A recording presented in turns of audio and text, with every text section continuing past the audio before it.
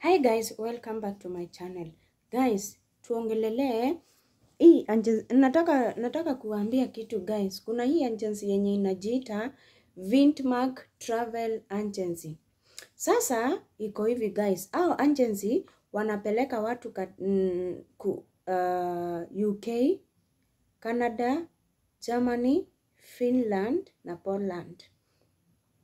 Sasa guys, I have a friend of mine mwenye sasa mimi sikuwa namjua, so mtu alikuwa ananichata ananichata ananipigia simu, mi sikuwa najua, akiniambia nimtafutie job, na alikuwa anataka kunipea pesa. Nimtafutie job, yani alikuwa anataka kunipea pesa, yani anilipe nimtafutie job ya driver. Ni mwanaume, ni Msudanese, so yeye ni Msudanese, so amekuwa akinipigia ndio sasa mpaka akafika mpaka Kenya na ni kama alijua mahali nakaa juu mali wamechukua hoteli nakaa hapo karibu.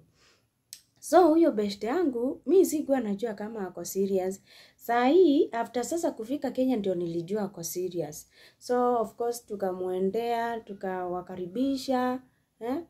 Sasa ndio akaanza kunielezea. So mimi nikajikakamua mimi kama The Ivano TV kwa sababu si unajua kama mtu anakujua lazima umshughulikie. Kaniambia naonanga nikishughulikia wasichana wakienda Gulf maybe kama wamekwama huko, kaniambia pia yeye nimsaidie.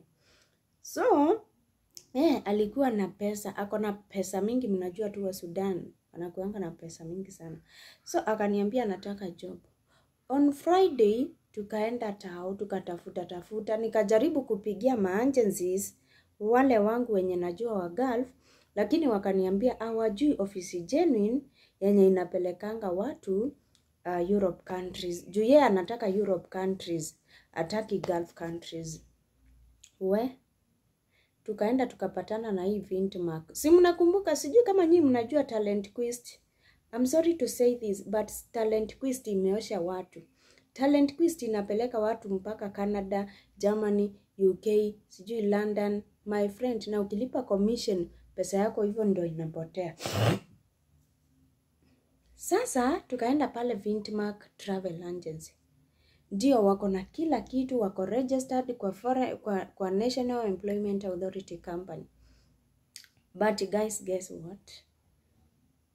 We au watu juu best yangu huyo Msudan uh, tuliambiwa Poland na Poland na Finland huko ni 500 half a million commission peke yake.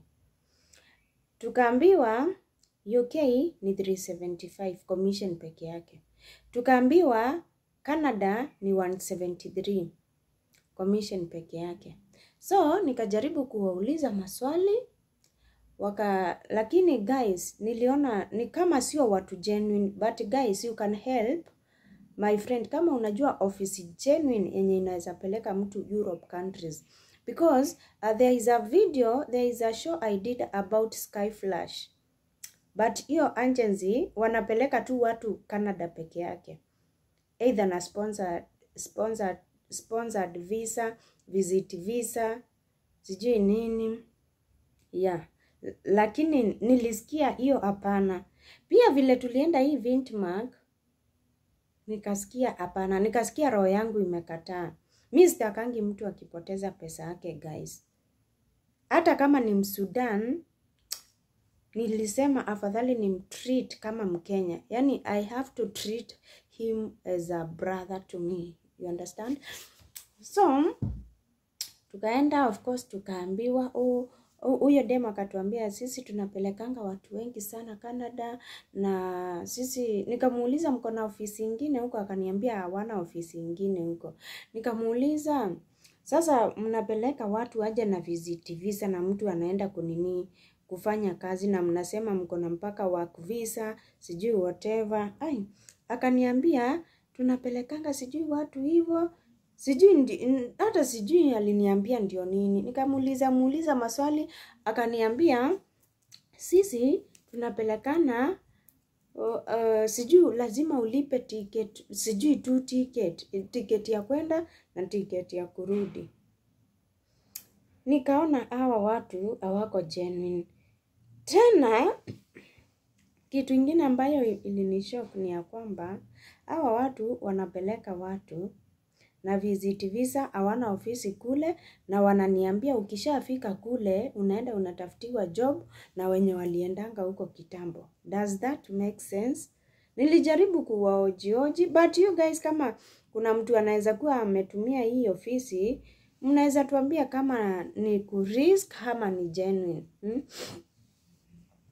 Kwa sababu ukiwaangalia wako wengi TikTok. Sasa mali niliogopa kabisa, kuna wale wanapelekana tu hiyo Canada the same office na 170 wengine 160 wengine 150. Nikajiuliza eh, hata Gulf Gulf, mtu wa security hmm?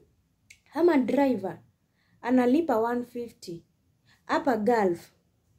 How comes Canada unalipa commission ya 173? Guys, does that make sense? Alafu hakuna ofisi huko, unaenda na visit visa, ati anatuambia nini, ukishaanza process umaliziwe kila kitu, ati process ina take one week. Ah, mi nikaona hiyo nayo ni hiyo ah, hiyo hapana. So guys, mimi nilikuwa nawaomba kama mnaweza kuwa mnajua genuine office ya kupeleka madrivers Europe countries, tafadhali let me know. Don't worry about the commission. Haya, uh, nikapigia Jackson simu na Jackson nikamwambia aongee na wao. Jackson aka au mabeste wangu wa Sudan, Jackson akawaongelesha na Jackson akaniambia niangalie claim safiri, niangalie sijui, tukaona mwingine anaitwa Steve Steve Steve Safaris. So wakaenda nikawatuma huko kwa, wakaenda kwa WhatsApp yao wakaambiwa watume nini? Wakaambiwa watume uh, 300 dollars ya application fee.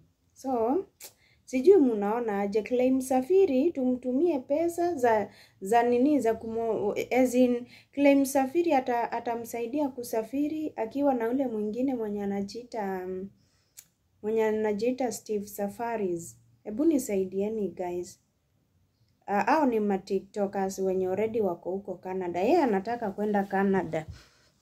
Yeah, so guys, mi nilikuwa nawaambia hivyo na bado best yangu wako hapa Kenya. I think wamechukua hiyo hoteli for three weeks kwa sababu wanasema wako live.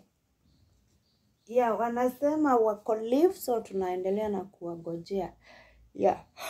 So, oh, sorry guys. So, let me know guys, okay? Kama mnajua mahali ofisi genuine. Kama ni Gulf ningekuwa nishawashughulikia. Ofisi ni mingi zenye zinapelekana Europe. Hata hiyo Friday tulitembea sana, lakini shida ni how genuine are they? Hiyo ndio shida.